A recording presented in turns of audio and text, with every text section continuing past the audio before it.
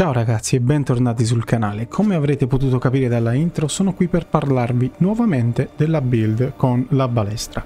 Perché? Perché recentemente sotto l'altro video qualcuno mi ha commentato ma la balestra poi è stata nerfata nelle ultime patch? Beh, la risposta è niente. In realtà non è stata nerfata di tanto l'arma di per sé, ma sono stati nerfati eh, i dardi che venivano utilizzati, i due dardi attorcigliato ed esplosivo che facevano un fottio di danni, soprattutto facevano dei danni ad area. Ora fanno meno danni e costano più munizioni di prima. Come ricostruiamo questa build? Senza stravolgere il vostro personaggio vi basterà scalare in base allo scaling dell'arma, quindi forza e, e agilità, ma dovrete utilizzare quelle armi che vi ho raccontato nel video precedente che hanno quegli slot rune che vi ho indicato su, in modo da poter mettere 3 rune di qualsiasi tipo, nel mio caso 3 e 3 rune, quindi 6 rune uguali che aumentano il danno delle armi lanciabili e a distanza. Come dardi utilizzeremo quelli che non sono stati nerfati, perciò come potete vedere dal, dalle descrizioni in basso a destra ci sono due tipi di, dar di dardi che fanno 509 di danno, mentre prima facevano circa 1200. Quelli non li utilizzeremo più. Come eh, pendenti ed anelli utilizziamo gli stessi del video precedente che vi daranno la possibilità di ricaricare velocemente la balestra quando rotolate o schivate e i due anelli che aumentano il danno delle armi eh, a distanza del 20% ciascuno. Perciò per mostrarvi che questa build è ancora rottissima, come avete già visto dalla intro, io ricomincio la run numero 2 nonostante non l'avessi finita ma poco importa. E eh, ne approfitto ovviamente per attivare la vestigia perché comunque prima o poi mi riservirà. E vado a combattere con il primo vero e proprio boss del gioco che tra l'altro è il mietitore di luce. Quindi un boss tendenzialmente di endgame, perché difficilmente riuscirete ad ucciderlo, soprattutto nella vostra prima run, e vi assicuro che anche nella seconda e la terza sarà bello difficile. Intanto guardate 5100 di danno, ho fatto con tre dardi, mentre nel video precedente ne facevo all'incirca 2007 e stiamo parlando comunque di nemici che hanno più forza, più vite, più difesa rispetto alla versione, eh, ehm, alla prima run, alla versione tra virgolette originaria del gioco per così dire. Ora, il bello di questa build è che voi potrete tranquillamente passeggiare per l'arena cercando di evitare ovviamente gli attacchi del nemico. Potrete stare comodamente in distanza dal nemico e spammargli contro tutte le frecce che volete.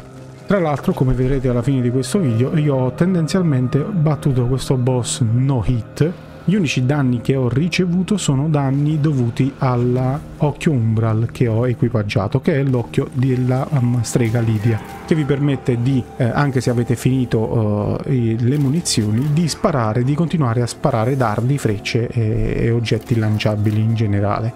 Tornando a noi, come potete ben vedere, io tengo le distanze, riesco a scansare facilmente gli attacchi del nemico e aspetto il momento giusto quasi sempre per attaccarlo e per fargli danno.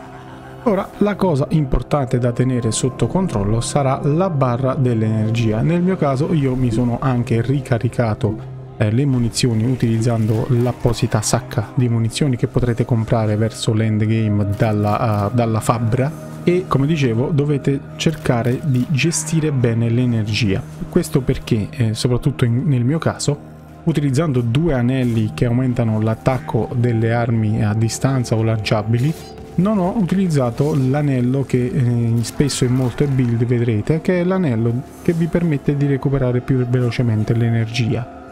Tra l'altro con le ultime patch, eh, per quest'arma in particolare, è stato aumentato il danno eh, da avvizzimento che subite quando utilizzate eh, i proiettili senza avere abbastanza munizioni. Ossia, quando quella terza barra con le lineette bianche e una gialla che vedete sotto le mie vite eh, scenderà a zero, io sparerò eh, dardi comunque, ma non avrò abbastanza munizioni. Con le ultime patch è stato aumentato il danno eh, che subisco, il, quella barra bianca che mi si carica sopra le mie attuali eh, vite, quindi sopra i miei HP effettivi. Questo perché per eh, evitare che nel PvP soprattutto venisse spammata quest'arma a profusione Ciò nonostante viene ancora spammata a profusione il PvP, perciò molto probabilmente verrà patchata a breve, quindi sfruttatela finché siete in tempo. Parliamo di statistiche, nel mio caso io sono stra mega overlivellato se così si può dire, anche perché apro una piccola parentesi, in tutti i Souls-like o più o meno in tutti i Souls-like, se un'arma scala in intelligenza o in questo caso in radiosità, il fatto che io abbia tutte le altre statistiche a 99 non significa un bene amato cazzo, perché quell'arma scalerà solo ed esclusivamente in base mia, eh, al mio attributo inferno o radiosità. Perciò, eh, anche se io sono stra super livellato in quasi tutte le statistiche, in questo preciso caso io ho 99 di eh, agilità, destrezza, definitela come volete, e eh, 50 o 60, non ricordo precisamente, di forza. Quindi mio, eh, la mia balestra già di base fa un danno dannatamente elevato. Ma sfruttando poi il dardo giusto in base al nemico riesco a fare ancora più danni. Come decidete il dardo giusto? Ve lo spiego in maniera abbastanza semplice per quello che ho capito io. Se vedete un nemico uh, con armatura che vi sembra chiaramente un crociato, allora tirate fuori il dardo uh, di fuoco.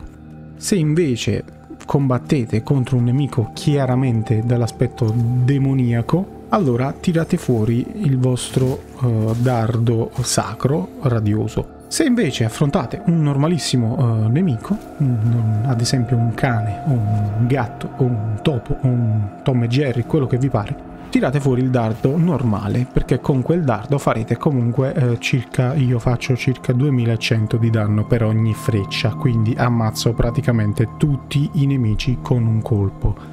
Detto questo ragazzi, il video sulla build tendenzialmente è finito, vi lascerò presente in descrizione e all'inizio del video il link al video precedente dove vi mostro dove raccogliere tutto ciò che vi serve per questa build e voglio aggiungere una piccola cosa che ho scoperto mentre registravo. Se voi ammazzate il mietitore di luce all'inizio del gioco e al primo eh, falò, alla prima eh, vestigia scegliete di ricominciare la partita per l'ennesima volta, come potete vedere in alto a destra io ho già guadagnato le rune del mietitore di luce, ma ce le ho appresso con me. Quindi il gioco tendenzialmente ricarica la partita, ma vi lascia tutto ciò che avete sbloccato fino a, a quel preciso momento in cui decidete di riavviare la partita. A tutti gli effetti è come se voi stesse facendo uh, incomincia di nuovo il New Game Plus 0, quello che vi esce solitamente quando avrete battuto tutti i boss. Per questo video è tutto ragazzi, noi ci rivediamo domani con una sorpresa. Ciao!